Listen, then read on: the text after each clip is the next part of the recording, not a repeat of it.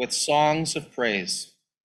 For the Lord is a great God and a great King above all gods. Let's stand together and join our voices with number 16 in your hymnal.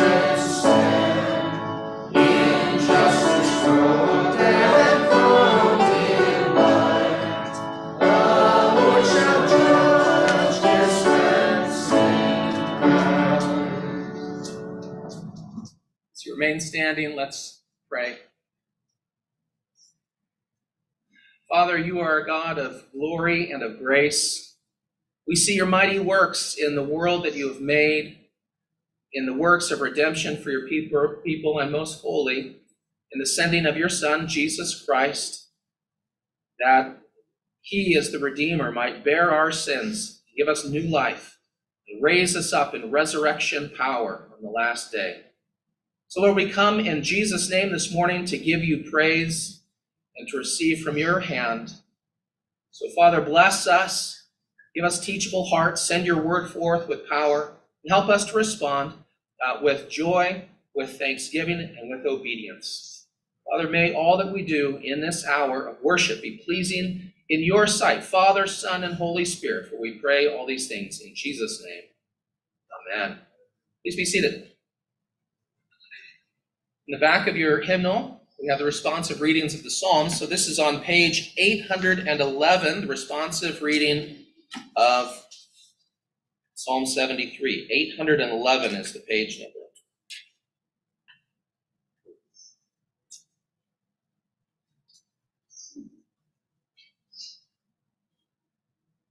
Ask you to respond, reading the bold in unison.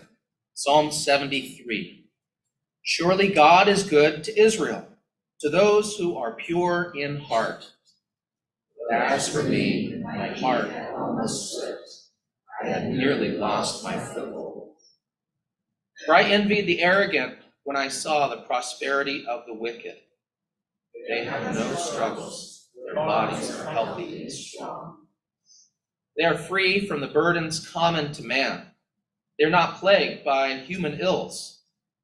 Therefore, pride is their necklace. They clothe themselves with violence. From their callous hearts comes iniquity. The evil conceits of their minds know no limit. They scoff and speak with malice. In their arrogance, they threaten crush. Their mouths lay claim to heaven and their tongues take possession of the earth. Therefore, their people turn to them, drink up waters in abundance. They say, How can God know? Does the Most High have knowledge? This is what the wicked are like, always carefree, increase in wealth. Surely in vain have I kept my heart pure. In vain have I washed my hands in innocence. All day long I have been plagued. I have been punished every morning. If I had said, I will speak thus, I would have betrayed your children. When I tried to understand all this, it was oppressive to me. Till I entered the sanctuary of God. Then I understood their final destiny. Surely you placed them on slippery ground, cast them down to ruin. How suddenly are they destroyed, completely swept away by terrors. It's a dream when one awakes. So when you arise, O Lord, you will despise them as fancies. When my heart was grieved and my spirit embittered, I was senseless and ignorant. I was a rude beast before you. Yet I am always with you. You hold me by my right hand. You guide me with your counsel, and afterward you will take me into glory. Whom have I in heaven but you? And earth has nothing I desire besides you. My flesh and my heart may fail. But God is the strength of my heart, my portion forever. Those who are far from you will perish. You destroy all who are unfaithful to you. But as for me, it is good to be near God. I have made the sovereign Lord my refuge. I will tell all your deeds. Amen. Join our hearts coming to the Lord in confession of sin this morning.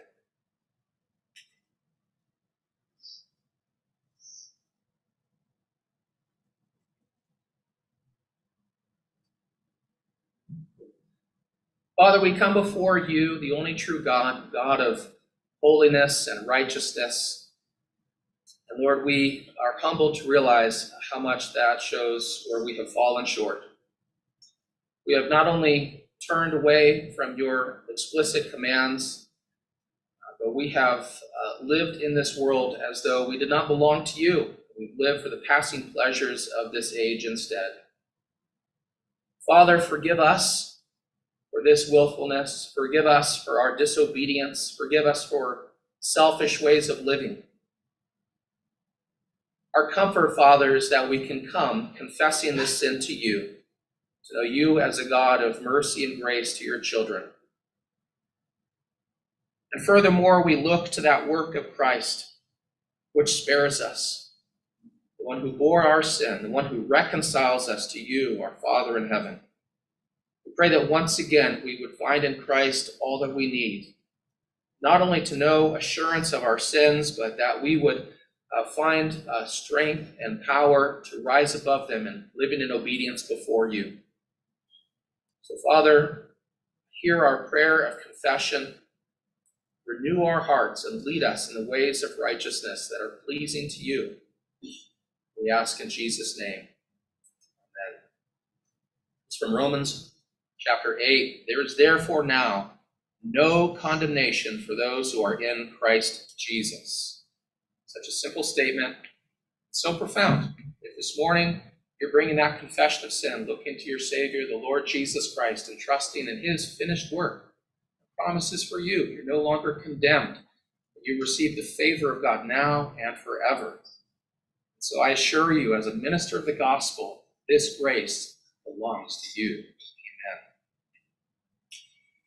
Let's sing in response, number 172. Let us love and sing and wonder. 172. Let's stand.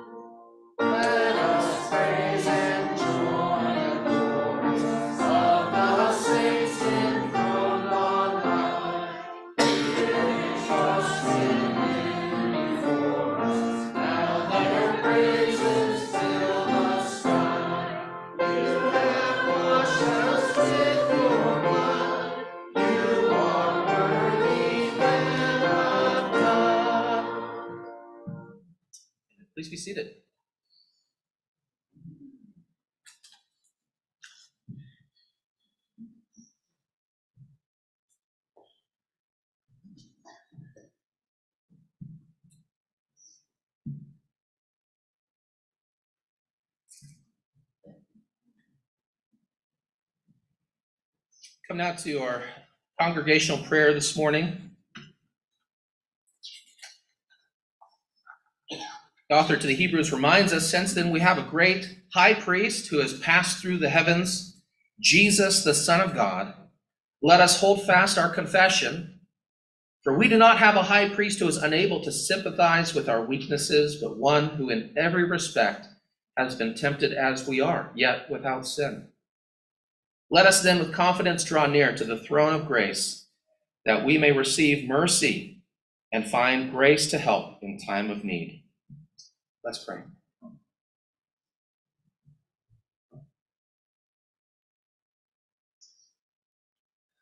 Father in heaven, thank you uh, that this day we can again draw near to you to know our God and Maker, to know the one who uh, spoke the worlds into existence, and you uphold all things by the word of your power. Lord, we uh, can know your faithfulness to us in all things uh, throughout all of our lives. We especially um, declare once again that you are a God of grace to us through your Son, Jesus Christ. And so we come to your throne, thankful that it is not a throne of condemnation, but a throne of grace, where we can seek after those things that are pleasing to you, even knowing that you have promised to work all things together for our good and for your glory. Thank you that your providence uh, reaches to every detail of our lives. If you are concerned with even the hairs of our head, how much more with our health, our families, our need for, uh, for this life, uh, the needs of your church, Lord, even the great concerns of this world, and there are many. Lord, we remember that every good gift uh, comes from your hand. We have often failed to remember that. We have lived as though we are our own provider. But Lord, we stop now to remember that all things are from your hand. You're the God who gives, and you take away when it is pleasing to you. So help us to live to the praise of your glory. Help us to rest in your goodness. Father, we do pray that you would advance the gospel in this age, that you would extend the church, that you would advance your kingdom. Lord, we pray for friends and, and loved ones who have not turned to Christ or have resisted or in some cases even fallen away. We, Father, pray that you would be merciful in their lives, that you would send your spirit and renew them and draw them to yourself. Help us to live before them in a way that shows our faith in Christ and shows furthermore our desire to serve them and bless them as Christians. We pray for our neighbors in Easton and in the Lehigh Valley. We pray that you would work in the hearts of many to seek after spiritual things, that they would be drawn to the truth of your word and to a church home. Father, we pray that, that you would work in the lives of, of many, even in the surrounding community, to draw them to Trinity and, uh, Lord, to join with this fellowship of believers. We pray in our region that you would be at work, blessing faithful congregations and church plants. Lord, we remember the three church plants of our presbytery Christ Church and Good News uh, Mission Work and Park Church in Doylestown. Father, we pray that in each of these places your word would go forth and that you would gather your people. Um, we pray that uh, these would be significant um, sources of witness uh, to new communities. Lord, we lift up our missionaries who are sent out in the farthest parts of the world. We pray that you would sustain them and bless their labors. We pray for John Rodenheis in Ethiopia. Lord, we pray also for missionaries uh, for the OPC, such as uh, Heero Hacquebord in Ukraine. We pray, Father, that despite the challenges of missionary work and even the war zone, that you would bless his labors and that you would send the gospel forth with power. Lord, we pray for other areas of the world that are distressed by war, famine, and disease, that uh, you would that you would be merciful, and that you would even use these needs to draw people to yourself. Give believers the opportunity to minister a cup of cold water and, and many other forms of compassion to those who are needy. We pray for refugee ministries, uh, such as the one carried out by the Greek Evangelical Church in Volos. We ask, Lord, that, um, that they in particular would be strengthened and given the resources they need to minister to many people who are displaced in this day and age. Pray that many would hear and believe the good news. Lord, here at Trinity, we thank you for your faithful servant, Pastor Tipton. We ask, O Lord, that uh, you would bless him in his work here and in the other ways that he serves through his teaching gifts. Lord, bless his family and provide for their needs as well. Lord, we pray that uh, as a whole congregation, we would be those who love your word and live according to it. That we would uh, find joy in serving one another and participating in the life of the church with the gifts that you've given to us. We pray for the ministry uh, that takes place to uh, for members of, of the congregation according to their various needs. Uh, Lord, bless these works, uh, provide for the needs of your people. We thank you for the children of the church. We pray for those who are involved in teaching them and serving them each week that you would uh, bless them in these good good works. Father, we lift up our brother Tom Foe. We Pray that with the cataract procedure coming up, that uh, you would bless that and make it successful. Be near to Jack Gavin and hospice. We pray for Brenda Broadbent, recovering these days from surgeries. Lord, there are many on our prayer list. We lift them up. You know these needs fully, but we remember once again Joey Olive, Flora's husband Don, the Gavin's daughter, Jacqueline, Ms. Mari Laubach, and Tim Scudder. Father, in each of these cases, we pray that uh, you would be merciful, that, um, that, uh, that you would bring comfort and healing in, in most of these cases. Father, give us help in our temptation and distress. You know the things that weigh upon us individually. Help us to look to Christ each day. Help us to live in humility. Lord, help us to be faithful in prayer. You tell us to pray for those who lead us in our in our nation in a civic capacity. We pray for them, Lord, for uh, national, state, local officials. Uh, Lord, give them wisdom and grace uh, for their responsibilities.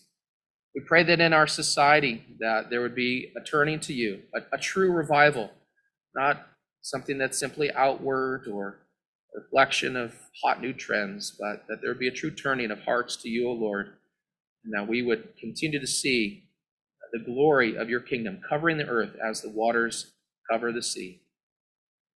Lord, hear our prayer. Forgive our sins and lead us, we pray, in Jesus' name. Amen. We continue our worship through the giving of our offerings unto the Lord. This time we'll collect that and then stand for the doxology at the end.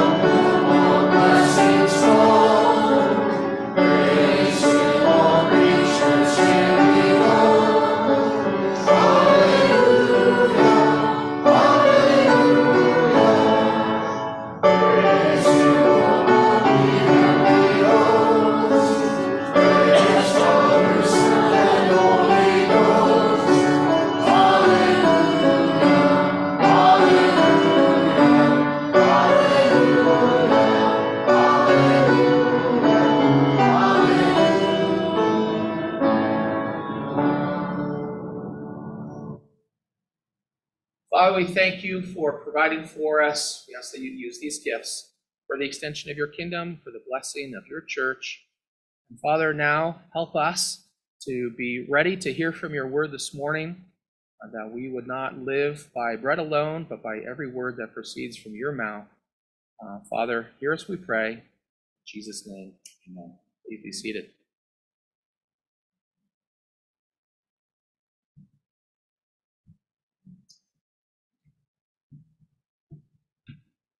It's so nice to be with you, and it's a pleasure to open God's Word. I think the last time I was here at Trinity uh, to, to preach and to be with you for the morning was probably before the pandemic, which sounds like ages ago, doesn't it? Um, but it's, it's nice to be back. Um, I'll be uh, leading a little presentation on home missions, on church planting during the Sunday school hour. So um, hope many can, can stay for that. Um, your encouragement and for my encouragement too, as uh, I get to spend time with, with you, one of my supporting congregations in the presbytery.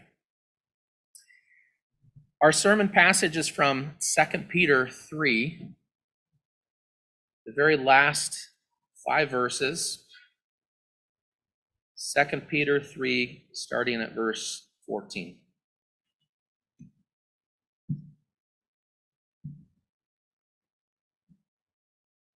Therefore, beloved, since you are waiting for these, be diligent to be found by him without spot or blemish, and at peace, and count the patience of our Lord as salvation, just as our beloved brother Paul also wrote to you according to the wisdom given him, as he does in all his letters when he speaks in them of these matters.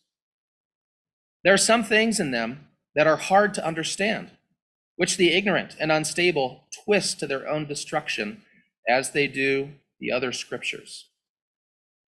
You, therefore, beloved, knowing this beforehand, take care that you are not carried away with the error of lawless people and lose your own stability. but grow in the grace and knowledge of our Lord and Savior Jesus Christ. To him be the glory both now and to the day of eternity. Amen. As far the reading of God's word.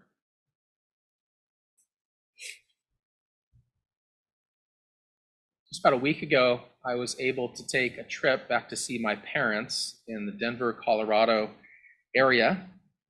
And wanting to save a little bit of money, I flew home on a red eye flight overnight, which meant I was arriving at the Philadelphia airport at about 5 a.m. Now, normally this is a rather quiet time of day. However, the very gate where our flight was arriving, there was another flight getting ready to depart. And it looked like it was going to be a flight full of young families on their way to Orlando. Now, let me remind you, it was 5 o'clock a.m. These families had probably already been awake for at least an hour and a half. I mean, having to get to the airport and get through security, and they'd begun to wait. If any of them had a longer drive to the airport, it wouldn't be surprising if they had been awake since 3 a.m. or maybe even 2:30 a.m. But you would have thought this crowd was celebrating a birthday party or New Year's or a Phillies World Series victory. Everyone was so alive and alert and socializing and laughing. Parents were dressed in festive, tropical looking outfits. Little girls were dressed up like their favorite princess characters. What would explain why this crowd of people was apparently having so much fun at this dreadfully early hour of the day? You know why? It's vacation. They were all about to leave to go on vacation in Florida to enjoy the sunshine and maybe see Mickey Mouse. Even at 5 a.m., the wait was part of the great excitement of the Florida vacation's arrival at long last. It was a clear picture of how waiting doesn't have to be unpleasant. It really depends on what you're waiting for. In fact, if you are waiting for some truly wonderful thing, the wait itself takes on a different character altogether. It's exciting. Your heart is riveted by this thing that you are having to wait by these through all these passing moments until it finally gets there. The delay is a foretaste of the thing itself. You can see it on the face of a bride and groom on the day of their wedding. You can see it when you go to a graduation gathering, even though it takes a very long time. The wait is part of the enjoyment. Our passage in Second Peter today, which is, of course, the very end of the book of Second Peter, it's about how we look at this time of waiting. Waiting, in this case, for the trumpet to sound and for Jesus to return and for the day of judgment and for the arrival of the new heavens and the new earth. What kind of wait did Peter think these early Christians could expect? And, and what kind of wait can we expect? Well, I want to look at for a moment at where the book of Second Peter has been to make some observations about this wait, because this is something of a theme throughout the book, although we're just looking at the last few verses. One thing that we would see earlier in the book, if we were to read it all the way through, is that this wait is sometimes construed as a sign that God's word cannot be trusted. Let me show you in particular in chapter 3, verse 3 and 4, where it says this. It says, chapter 3, verse 3, that scoffers will come in the last days with scoffing, following their own sinful desires. They will say, Where is the promise of his coming? For ever since the fathers fell asleep, all things are continuing as they were from the beginning of creation.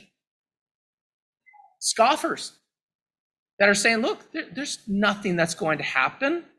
It sounds like the cynics of our own time who would mock Christianity and say, Look, you're foolish to expect that there is going to be some miracle. You're foolish to think that God is going to act in this world in a supernatural way. They question whether Jesus rose again. And here they're saying it's impossible that Jesus is going to come back on the clouds. God's word cannot be true. Because for many, it doesn't fit with their outlook on life. So one thing that characterizes this time of waiting is those who would question the truth of God's promises in His Word. Another characteristic of this time of waiting is for many, it is an occasion for spiritual regression, or, or what we'd say is just sin and wickedness.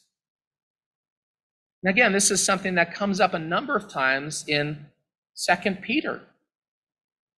The apostle is saying be on guard lest you get sucked into the sinful temptations of this world. And actually, he's thinking also those who come into the church and through their false teaching would lead people astray and lead them into various forms of wickedness. Let me read for you a few verses in chapter 2 that give warning against following those who set this pattern talks about those in verse 10 who indulge in the lust of defiling passion and despise authority. That doesn't sound very good. Verse 14 they have eyes full of adultery, insatiable for sin. They entice unsteady souls. They have hearts trained in greed. Verse 19 in chapter 2 they promise them freedom, but they themselves are slaves of corruption or whatever overcomes a person, to that he is enslaved. In verse 21, it would have been better for them never to have known the way of righteousness than after knowing it to turn back from the holy commandment delivered to them. All of those verses are describing, within the context of the church, a pattern of people falling away from righteousness during this wait, during this time in which some very bad influences will be found even in the household of God. We see the same patterns today increasing pressure towards sinful temptation, which would draw away even professing believers. And sadly, I think we probably would say we do see much of that. It's as though the weight of the Christian life is just too much for some. They make shipwreck of the faith through letting down their guard and sliding into various forms of sin. So, one part of the wait is people questioning God's word. Another part of the wait is we see people sliding into sin. And third, through this time of wait, which maybe some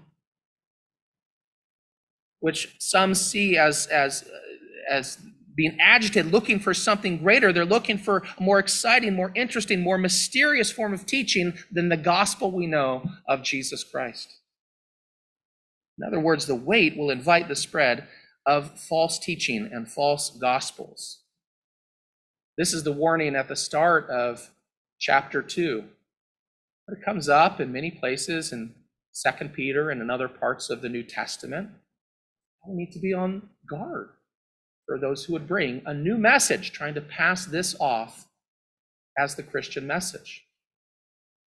Again, the question is do we see any of that in our own time? Of course, right? We still live in this age of waiting in which we see far too much of this. And simply turn on your television or open up a, a website and you'll see people trying to pass off Christianity as though it's simply a matter of health and wealth that God will give you, a get rich scheme. Or maybe a means of feeling good about yourself or a moralistic message. Try harder and God will love you. Right? We could go on and on. There's all kinds of different ways that people twist the biblical message, and what comes out is something very different than Christianity. It's clear that the longer the wait, the more forms of false teaching we see trying to pass as Christian faith. So, according to Second Peter, this time of waiting is full of many perils and dangers. We can make this even more personal. Can you relate to this idea that life is sometimes just too hard to endure? I mean, the source of distress could be a, a frustrating job, a, a very difficult boss, financial strain, addiction, depression, a relationship that seems to deteriorate. You feel like sometimes you just can't endure that, that you're reaching your breaking point. All of us begin to feel that way. I can feel that way with the things that I struggle with. We all feel that way. We just don't know if we can endure as we feel these pressures and struggles. But it's at this point the point where it seems difficult, if not impossible, that we need to remember what God's word says about the passage of time.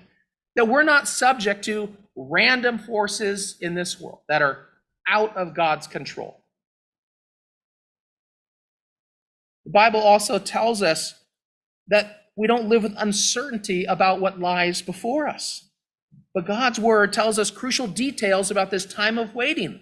And as Peter closes up this short book, Second Peter, presents important reminders for all of us about how we are to be waiting, how we are to view this seemingly slow and tedious passage of time. The most important thing to remember is that during this time we live between the first coming of Jesus Christ and his return. The age of the church is a limited time as we wait for our Savior's return. He is surely coming. And because this is so clear and so important for the Christian outlook, it shifts our priorities and it changes the character of the wait. In particular, our passage highlights three ways that this time of waiting is changed because of the return of Jesus Christ. First, we'll see in here that we are to live intentionally as God's people as we wait.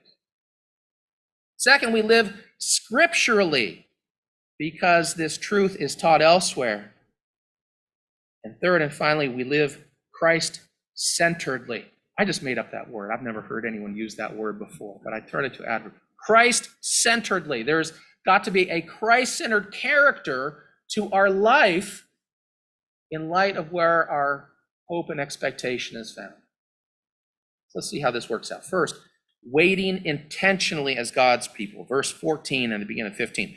Therefore, beloved, since you are waiting for these, be diligent to be found by him without spot or blemish and at peace. And count the patience of our Lord as salvation. As we noted, that these things for which you're waiting, it's, it's everything associated with the very end. In fact, I mean, just look back to the previous verse 13 about the new heavens and the new earth, and about four verses before that, clearly talking about expectation of Christ's return. It's all these events associated with the end that we are waiting for. And Peter says, in light of these things, we are to be diligent to be found by him without spot or blemish and at peace. Now, Jesus himself spent a lot of time talking about how to be ready for his return. He told a bunch of parables to help us understand the nature of that waiting. Matthew chapter 24 and 25. There, Jesus says we ought to be like the faithful servant who is always ready for the return of his master, although it would come at an unexpected hour. You remember that parable? Or Jesus compares it to five of the ten virgins who are waiting for the bridegroom. Five are not ready, but five are ready because they've kept extra oil for their lamps so that when he arrives, they would be prepared. Or Jesus says we ought to be like the servants who were faithful with the talents given to them. They'd be ready to give an account on the day that the master returns. In each of these cases, what's most important is to remain ready. You see, all of them in these parables had planned their lives and priorities accordingly. And of course, so also the only people who are ready for Christ's sudden appearance are those who are found trusting in Him and living for Him.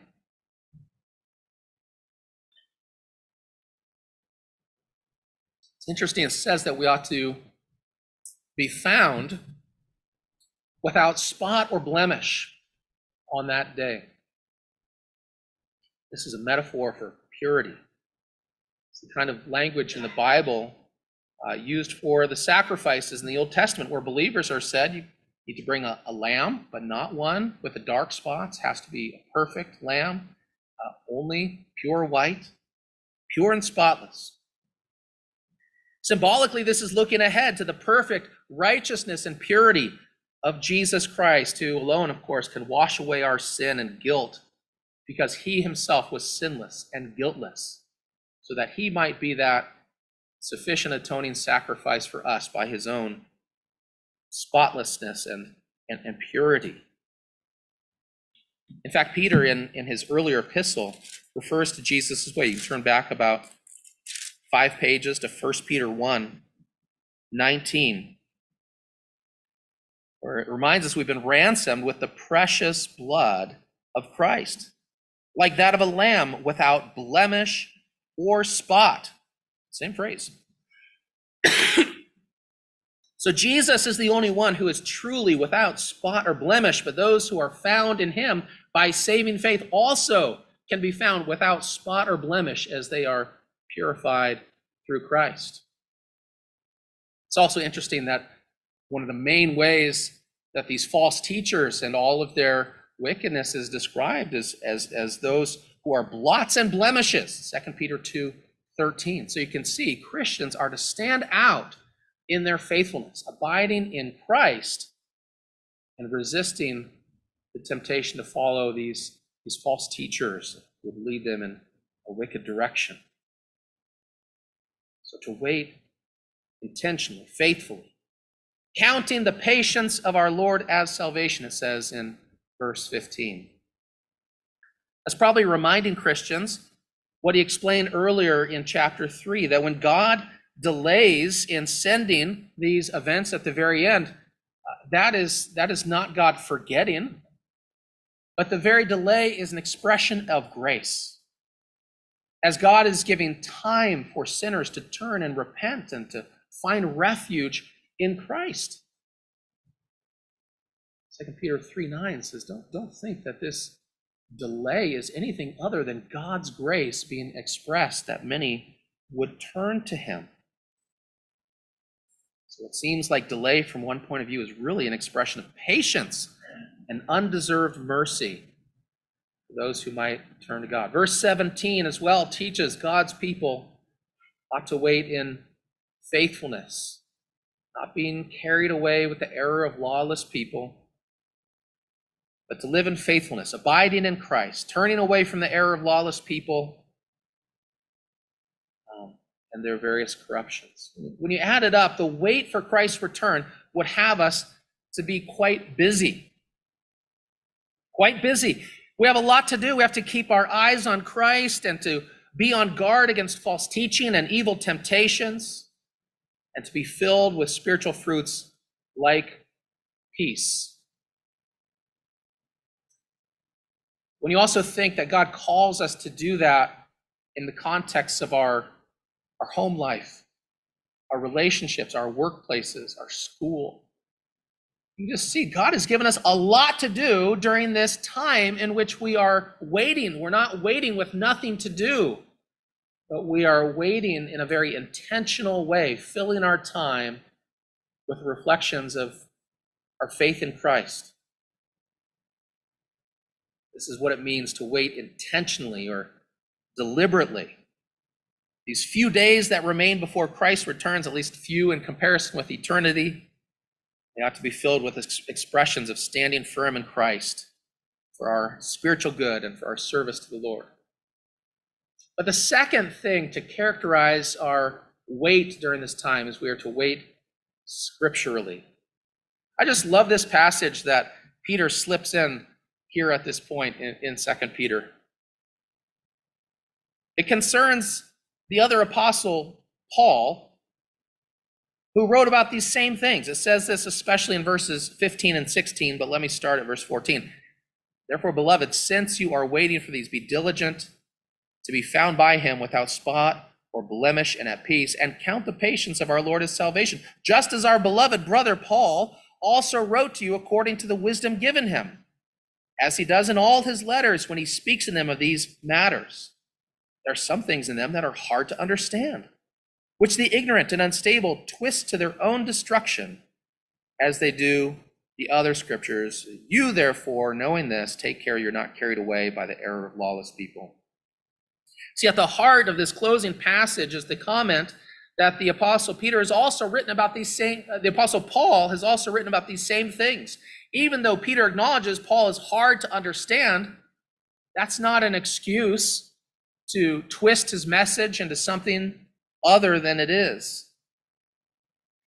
As I studied this passage, I wondered is there some particular passage of Paul, Paul's letters, that Peter is thinking of here?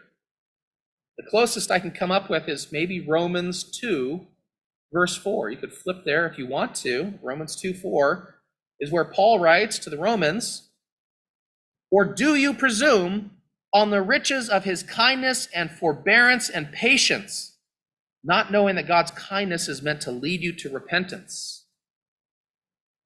See, here in Romans, Paul is also explaining that the delay of God's judgment ought to be seen as a, an expression of God's patience and of his grace. It gives sinners time to repent and to find refuge in Christ. So it's possible that Paul, uh, that Peter is thinking of this part in Romans as he's writing this conclusion to Second Peter. But then again, perhaps he's thinking of a different place. He doesn't give an exact quotation, he doesn't even refer to which of Paul's epistles he's thinking of. It could be a different part of one of the epistles in our New Testament, or even something that Paul wrote that we don't have in our New Testament. You know, there was there's indication that Paul wrote at least one or two letters to the Corinthians that are not in the New Testament. And of course, he wrote with apostolic authority. So perhaps it's even from something that we don't have, we don't know. But regardless of which exact passage Peter has in mind, isn't it amazing that here Peter calls the writings of Paul scripture? scripture. Look at the end of verse 16. Um, the ignorant and unstable twist these writings of Paul to their own destruction as they do the other scriptures. The undeniable implication here is that Paul's epistle is to be seen as scripture along with the rest of God's inspired word. Peter and the other apostles were aware God was inspiring their writings to be authoritative in leading the New Testament, the New Covenant church. And Paul, in particular, is seen as faithfully expounding this gospel so that Peter can call his writings scripture for us. Isn't it also comforting that Peter also had trouble at times understanding everything that Paul wrote? We can identify with that. We've read passages of the Bible and thought to ourselves, man, I, don't really understand what's going on here. It's okay to admit that if we're puzzled by certain details in the Bible. If Peter found it hard, it's okay if we find some things hard to understand as well. Of course, we ought to be quick to remember that what to be especially confident in what is clear in the Bible. The whole nature of the gospel message is very clear. And so we try to interpret what is unclear in light of what is clear. That's a good principle of, of reading the Bible. So, to summarize, we live in this time of waiting for Christ's return and the end of days. But in that wait, we ought to be intentional about waiting in Christ to be faithful to our Lord. And secondly, we wait scripturally. We acknowledge there's many parts of the Bible that urge us to this same posture, understanding how to live faithful in this age in which we live. But third, we are to live Christ centeredly. Christ centeredly, my, my new word for the day. This is already implied in what we saw before, but gives special emphasis in verse 18. But grow in the grace and knowledge of our Lord and Savior Jesus Christ. To him be the glory both now and to the day of eternity. Amen. Here's our marching orders. Here, in summary, is how we're to live and fill our time as we wait for the Lord Jesus Christ to return. Here's the mandate for every Christian grow in the grace and knowledge of our Lord Jesus Christ. The fact that we are exhorted to grow in grace, it reminds us that God's work is, is not yet finished in us. Not until we are complete in holiness and righteousness, just like our Lord at the end of this life. So in the meantime, we are to put off the old ways of sin, put on the new ways of life in Christ. When we see parts of our life that we know are not pleasing to the Lord, our thoughts and our actions and our words, our desire is to repent. That is not only look to God for forgiveness, but to hate those sins and to, to flee from them in this life, we ought to have a special love for the, the ways that God strengthens us spiritually through His Word and through the sacraments and prayer. Whenever we have the opportunity to be strengthened by the means of grace as we do today, we ought to count it as precious. This is what God is using that we would fulfill this passage to grow in the grace and knowledge of our Lord Jesus Christ. He has called us to faith and holiness we are responsible uh, to pursue that in our daily life. Besides growing in grace, it says grow in knowledge. The Bible encourages us to grow in knowledge. It's not talking about merely taking in information. We're not just sort of machines collecting information in our daily life. The way that we grow in knowledge that comes from God is to remember the very personal dimension to that knowledge since we are God's people. We're his covenant people whom he has redeemed, and he speaks to us as our personal God who loves us and cares for us. So to grow in knowledge is to shape our character because we know the one who speaks to us and is leading us. To both be a hearer of God's word and a doer as we receive it and let it change us. We have to be teachable before the Holy Spirit to advance his good work in each of us. When we read all of Second Peter, it's obvious that we're created in the image of God. And in that spiritual nature, we can either grow and see that grace advance, or there can be regression. That's why we have to take seriously the work of progressing in the Christian life through growing in the knowledge of Christ. that knowledge of Christ flowing from God's revealed word is the safest way, the most sure way to abound in the grace of God and stay on the path of faith and righteousness.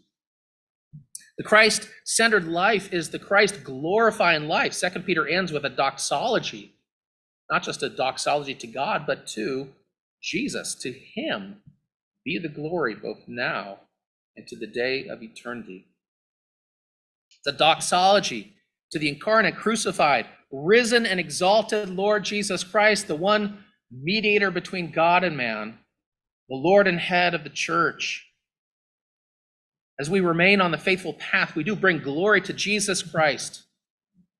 We prove the wonders of his grace, not only in this age, but for eternity to come, as he is worthy. Amen.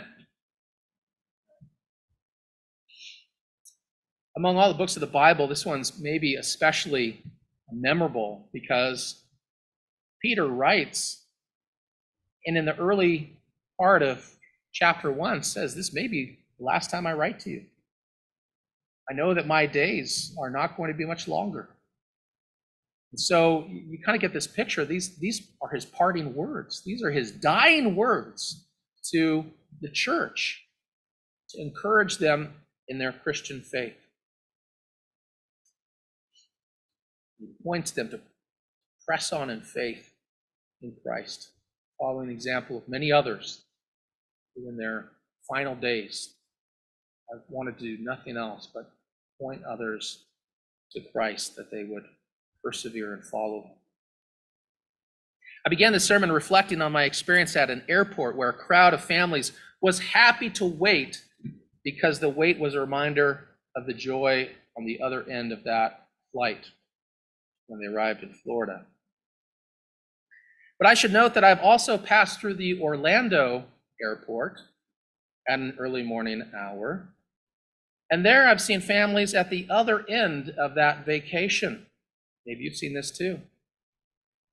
You see those same families up early in the morning and they suffer through the security line, flying back to Philly, back to school, back to work, back to normal life. Believe me, you've never seen such haggard expressions, such depressed people as when they're finishing that week of dream vacation and they have to go back to real life. But this is what makes the wait for Christ so different. The one whose heart is set on Christ and his kingdom will never be disappointed by what you experience after the wait. Indeed, so great is the joy. The Bible always assures us tears will be wiped away, doubts will be removed. The full wonder and joy of God's gift in Christ will finally be fully known, never to be lost.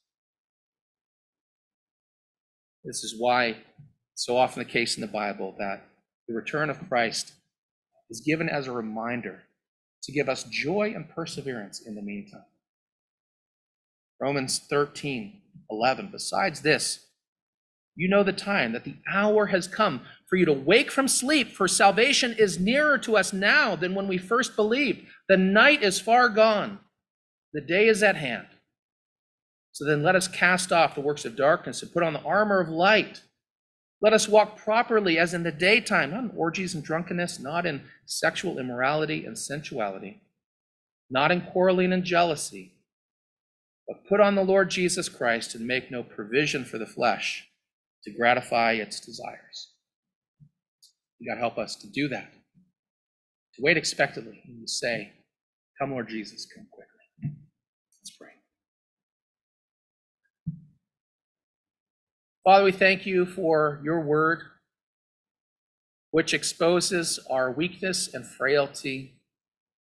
It also points us to our hope in Christ and what he has done and the hope of his return. Lord, grant that we would not uh, be drawn away, enticed by the promises and passing pleasures of this world. Help us to keep our eyes on our Savior, that we would be able to endure with joy and hope in him. Lord, guide us in your truth. Fill us with your spirit. Finish this good work in us, we pray. In Jesus' name.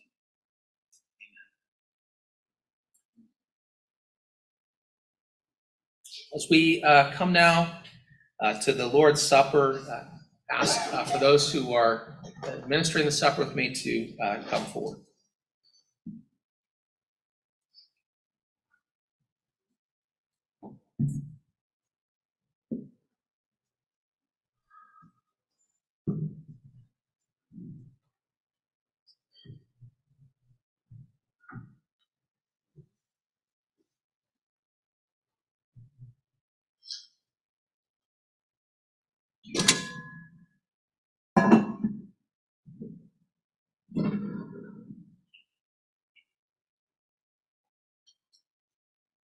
First, I want to read from the institution of the Lord's Supper in 1 Corinthians 11.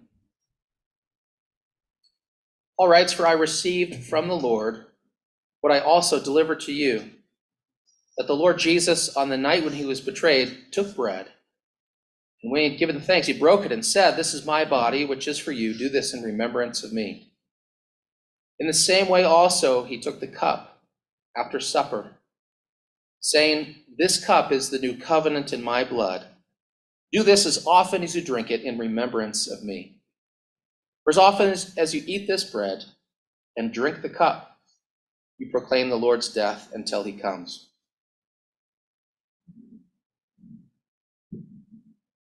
Lord's Supper is given by Jesus Christ to people in his church, his disciples, be a sign and a seal of the covenant of grace in him. The purpose, which is very clear in what we read, is for the Christian church to continue to practice this for just as long until he returns. It's not only a reminder of what he has done at the cross, uh, where the breaking of his body and the shedding of his blood alone is what saves us, but it is a foretaste of that marriage supper of the Lamb of what is yet coming. And in this way, it very much is in keeping with the passage that we were just looking at in Second Peter. That we live in light of what Christ has done, but we also are anticipating that day of his return and the renewal of all things. So may God use this to strengthen us in our faith and give us perseverance as we look for his return. Lord's Supper is for those who have come to a saving knowledge of Christ, confess their sin, turn to Him and are seeking to live faithfully. For those who have also joined themselves uh, to a Bible believing church to receive kind of oversight and accountability that we all need. If that is true of you, I invite you to share in this meal as brother or sister following the Lord Jesus. If you have not come to faith, you're harboring some form of great unfaithfulness that you uh, will not turn away from. If you have not professed that faith and joined a Bible believing church, we ask that you would refrain and that you would look to Christ and make strides of discipleship in those ways, that you would um, not be held back any longer, be able to come to this table soon in the future. Let's pray and ask for God's blessing as we um, come to uh, the table.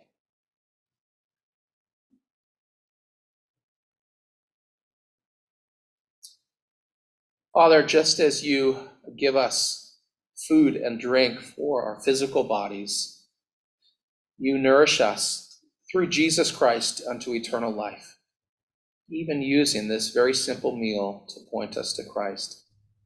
But by your blessing, would you help us to look past these physical elements to the spiritual reality that they symbolize? Christ, our Lord, who was crucified, is now risen and exalted and reigning over us. Father, we pray that we would remember this sharing together in this meal uh, is a, shepherding act uh, of the Good Shepherd, even as under shepherds administer it to us. So, Lord, use this to strengthen us, that we would find uh, a power uh, to live by faith in Christ, the power that you give us by your Spirit. Lord, set apart these common and ordinary things for your holy purpose. We pray in Jesus' name. Amen. Our Lord Jesus Christ, the same night in which he was betrayed, took bread, blessed it, and broke it, gave it to his disciples, as I, ministering in his name, give this to you.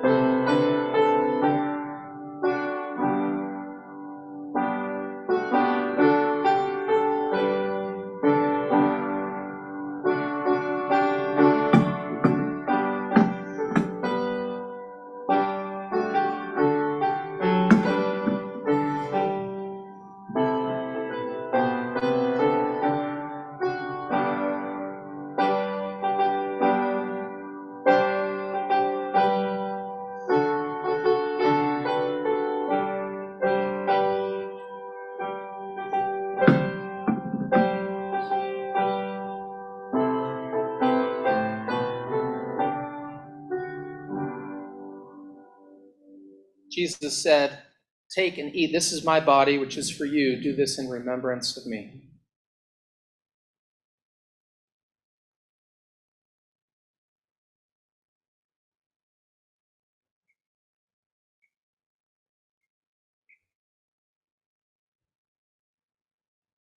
In the same way, our Savior took the cup, and having given thanks, gave it to his disciples, as I ministering in his name, give this to you.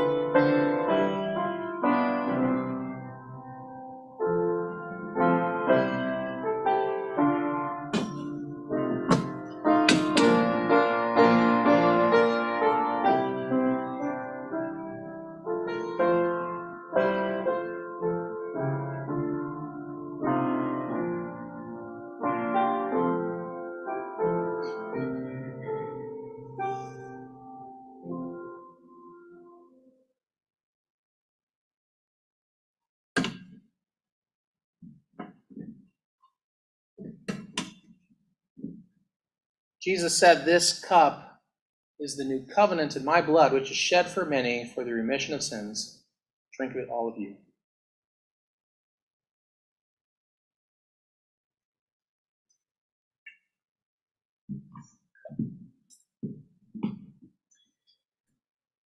Let's stand and sing in response.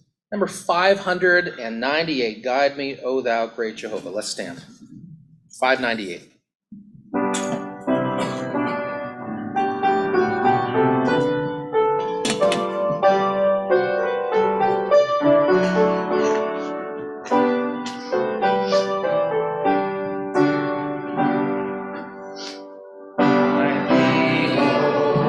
Blessing